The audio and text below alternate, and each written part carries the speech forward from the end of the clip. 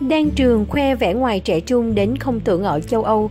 Thật không thể tin được ở tuổi 42 mà Đan Trường có thể trẻ trung và đẹp trai xuất sắc như vậy. Những khoảnh khắc anh khoe dáng tại trời Âu khiến cho nhiều người phải kinh ngạc vì ngoại hình không tuổi của nam ca sĩ. Gần đây Đan Trường đã có một chuyến đi qua nhiều nước châu Âu như Pháp, Đức, Tây Ban Nha. Anh Bo cũng tranh thủ chụp những tấm ảnh lưu niệm mỗi lần ghé thăm các thành phố ở các nước. Phải nói ở tuổi 42 mà anh Bo như 24. Trông anh quá trẻ, làn da trắng mịn, body vạm vỡ không có dấu vết của một ông chú trung niên. Cách ăn mặc của nam ca sĩ cũng rất sang chảnh, sành điệu và trẻ trung. Ngoại hình của anh quá chói lóa khiến ai cũng phải trầm trồ. Trong chuyến đi này, Đan Trường vừa đi lưu diễn phục vụ khán giả, vừa tranh thủ thời gian thăm thú các địa điểm du lịch. Vào nghề đã từ rất lâu, nhưng Đan Trường vẫn sở hữu một lượng fan hùng hậu. Anh vẫn có một chỗ đứng rất lớn trong trái tim những người yêu nhạc Việt.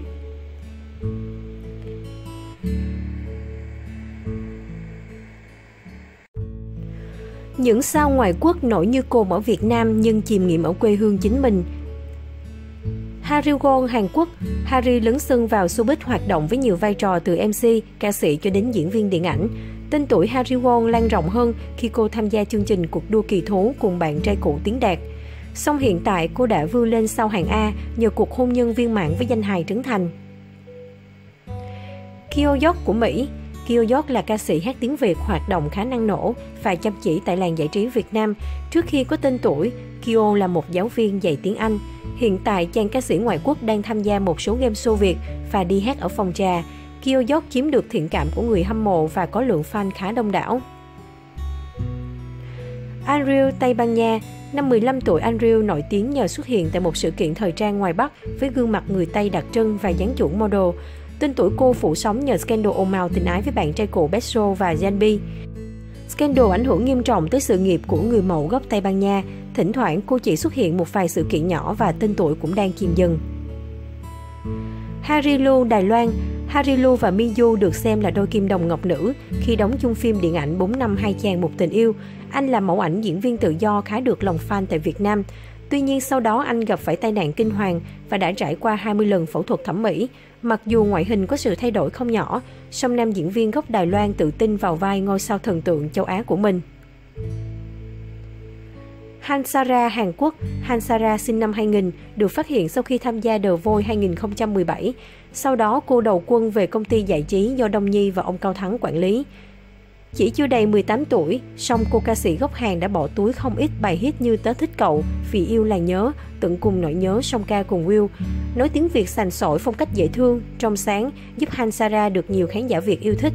Gần đây, những sân chơi ca sĩ giấu mặt hay giọng ải giọng ai trở thành bệ phóng, giúp các cô gái Hàn hát nói tiếng Việt tốt lấn sân vào showbiz. Shin Jin-ju, cô gái Hàn Quốc từng gây ấn tượng với cư dân mạng khi hóa thân thành ca sĩ Miu Lê trong chương trình ca sĩ giấu mặt. Trước đó, Shin Jin-ju từng gây ấn tượng với cư dân mạng khi hát loạt bài cover bằng tiếng Việt thu hút triệu lượt xem trên YouTube. Gần đây nhất là Jongju, người đóng vai bạn gái Nô Phước Thịnh trong MV Những kẻ mộng mơ, xuất hiện trong chương trình Giọng ải giọng ai. Cô sinh năm 1995 từng xuất hiện trong Idol School, chương trình thực tế tuyển chọn thành viên nhóm nhạc nữ vào đầu năm 2017. Việc nghệ sĩ ngoại lấn sân sang thị trường Việt đánh dấu bước khởi sắc của nền giải trí nước nhà. Song đây cũng là một điều mà nhiều người hâm mộ lo ngại rằng showbiz Việt dường như đang quá dễ dãi và là mảnh đất màu mỡ cho những người ngoại quốc muốn nổi tiếng.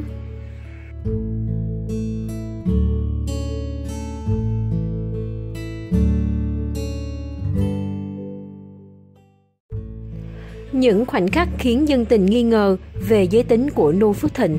Gần đây, nô Phước Thịnh có lên tiếng kể về việc anh từng yêu Mai Phương Thúy, nhưng đắng lòng thay nhiều người cho rằng anh và Hoa hậu họ Mai chỉ là hai chị em. Cũng phải vì trong quá khứ, nam ca sĩ đã để lộ những khoảnh khắc muối mặt khiến dân tình không tin anh là trai thẳng. Để lộ keo bôi trơn, đây có lẽ là một sự cố mà nam ca sĩ không bao giờ quên. Vào năm 2011 trong một chương trình game show, Noo Phước Thịnh đã có dịp khoe nơi ở của mình và những cư dân mạng dỗi sôi đã thấy một vật thể khá là nhạy cảm lấp ló. Đó chính là một lọ keo bôi trơn. Sự cố này đã khiến dân tình bàn tán rầm rộ về giới tính của nam ca sĩ. Anh chàng vẫn chưa hề giải thích về sự xuất hiện của lọ keo bôi trơn năm nào. Nu Phước Thịnh để lộ lọ keo bôi trơn mà giới gây hay sử dụng. Bước ra xe ẻo lả còn hơn người mẫu. Trong một clip quay từ trên xuống, nô Phước Thịnh bước ra khỏi xe với dáng điệu điệu đà, lạ lướt, Có khi các chị em phụ nữ cũng chào thua. Tạo dáng của anh cũng cute phu mai que, chắc chắn đàn ông chẳng có ai làm vậy. Hình ảnh này thật khác xa với nô Phước Thịnh trên sân khấu hay trong các buổi phỏng vấn mà anh thể hiện sự nam tính của mình. Câu nói mập mờ trong chương trình The Voice Trong chương trình The Voice sau khi thí sinh Huyền Dung biểu diễn ca khúc Trò đùa của tạo hóa. Ca khúc nhạc phim Lô Tô có nội dung xoay quanh người đồng tính hoặc chuyển giới. Nu Phước Thịnh đã có những chia sẻ khiến nhiều người bất ngờ về tiết mục này. Anh rất thích bài hát này của nhạc sĩ Nguyễn Hồng Thuận. Nó đã vực dậy tinh thần của những người thuộc giới thứ ba, đặc biệt là những người chuyển giới. Chắc chắn anh là người hiểu hơn ai hết bài hát này. Lúc này Tóc Tiên và Thu Minh cười phá lên và chỉ tay về phía Nu. Lời nhận xét của nam ca sĩ cùng thái độ kỳ lạ của các đồng nghiệp khiến nhiều người nghi ngờ liệu Nu Phước Thịnh đang tự nhận mình là người thuộc giới tính thứ ba nên có thể thấm được bài hát này. Màn livestream lộ nội y, có lần Nu Phước Thịnh livestream ở trên ăn mặc khá là chỉnh chu với áo sơ mi trắng, áo len mỏng khoác ngoài, tóc tai vuốt gheo lượt là, nhưng khi đang mải mê nói chuyện, chiếc điện thoại phản chủ bị rơi xuống và để lộ khoảnh khắc nam ca sĩ không mặc quần, chỉ mặc một chiếc nội y cỏn con. Khỏi phải nói sự cố này đã được chia sẻ rầm rộ trên mạng với tốc độ chóng mặt. Phước Thịnh ở trên thì ăn mặc chỉnh chu, ở dưới thì không mặc quần.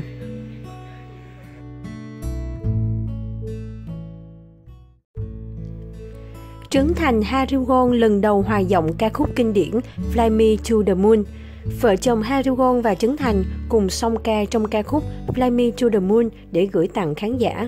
Chương trình giọng ca bí ẩn tập cuối sẽ được lên sóng vào Chủ nhật tuần này với năm gương mặt khách mời đầy quen thuộc với khán giả, Hoàng Mèo, Julie Phương Trinh, Lạc Hoàng Long, Lý Bình và Minh Dự sẽ làm cho Trấn Thành và Harigon nhiều fan rối não. Giọng ca bí ẩn là chương trình đầu tiên cặp vợ chồng bá đạo Trấn Thành Harigon cùng dẫn chung, đánh dấu được ấn tượng khó phai trong lòng khán giả trong suốt thời gian chương trình lên sóng đến nay. Qua suốt 12 tập phát sóng, hai vợ chồng không chỉ đảm nhiệm vai trò dẫn chương trình mà còn đưa đến cho khán giả nhiều cung bậc cảm xúc khác nhau. Dường như khi đứng chung với chồng mình, Hariwon phát huy được nhiều khả năng và hoạt ngôn hơn bất cứ khi nào. Trấn Thành Hariwon cùng hợp sức tạo nên một mùa giọng ca bí ẩn để lại trong lòng khán giả nhiều kỷ niệm. Dù dẫn chung với Trấn Thành, Hariwon không ít lần tái phát bệnh mê trai, khiến Trấn Thành nhiều fan điêu đứng. Với câu thần chú, em kiếm cơm dường như trở thành thẻ bài miễn tử và là một thương hiệu của một Hariwon rất khác mỗi lần phát bệnh tại chương trình. Không chịu thua Hariwon, không ít lần Trấn Thành cũng siêu lòng trước nhiều bóng hồng xuất hiện tại chương trình.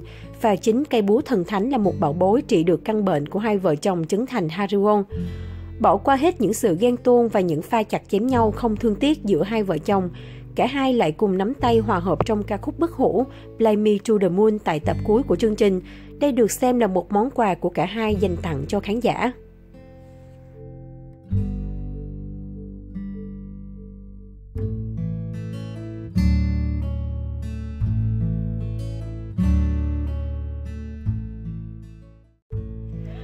Tròn 3 năm hẹn hò, Thanh Bình nhắn nhủ đến vợ, anh hứa là sẽ yêu như ngày đầu. Dù vợ còn nhiều vụng về hay nhõng nhẽo, nhưng diễn viên Thanh Bình vẫn hứa sẽ yêu Ngọc Lan như ngày đầu. Mới đây trên trang cá nhân của mình, diễn viên Thanh Bình đăng ảnh hạnh phúc bên vợ con cùng lời chia sẻ. Hôm nay tròn 3 năm ngày bắt đầu yêu nhau, 1 tháng 11 2015, 1 tháng 11 2018. 3 năm không phải là quá lâu, nhưng cũng không phải quá ngắn cho tất cả những điều tuyệt vời đã cùng trải qua. Chúng ta đã có một tình yêu to lớn là lô yêu, sẽ còn nhiều thứ mà chúng ta sẽ vượt qua trước mắt nữa. Nhưng điều quan trọng mình hãy cứ vẫn tin về đối phương thì anh tin là sẽ chẳng có gì khó khăn cả. Dù lô yêu dành bớt phần nhưng anh hứa là sẽ yêu em như ngày đầu nhé. Đừng suy nghĩ nhiều và hãy luôn tươi cười thật nhiều, nắm tay và đi tiếp cùng nhau nhé nì mọc Ngọc Lan. Ba yêu hai mẹ con nhiều. Ngọc Lan Thanh Bình từng là bạn tốt hơn 10 năm trước khi hẹn hò. Từ khi làm bạn đến lúc yêu và kết hôn, Thanh Bình luôn chăm lo chu đáo hết mực cho Ngọc Lan.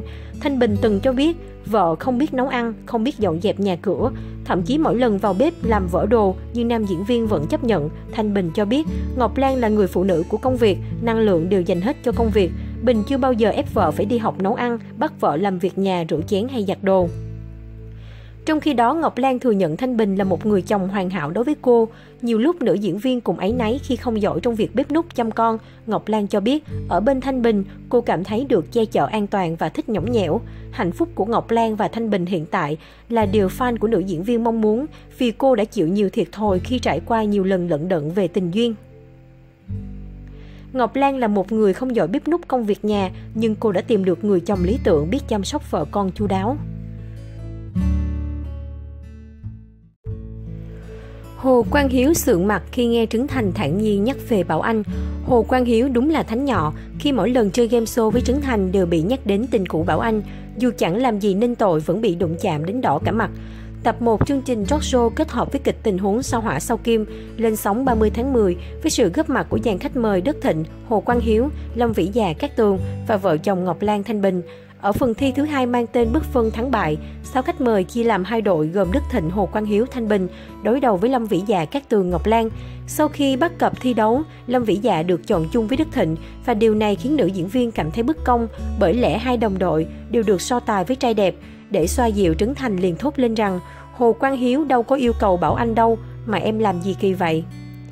Câu nói bất ngờ của Trấn Thành đụng chạm đến người yêu cũ khiến Hồ Quang Hiếu ngỡ ngàng và ngượng chính cả mặt còn khán giả thì được một fan cười thích thú. Lâm Vĩ Dạ khiếu nại tại sao Ngọc Lan và Cát Tường đều được thi đấu cùng trai đẹp, riêng mình lại phải bắt cặp với Đức Thịnh.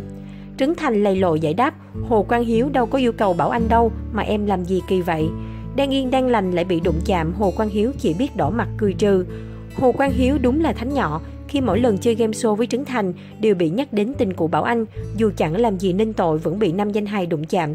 Trước đây trong chương trình giọng ca bí ẩn, Trấn Thành đã liên tục bắt tay với anh Đức chọc ghẹo nam ca sĩ bằng cách khơi gợi lại chuyện tình cũ với Bảo Anh.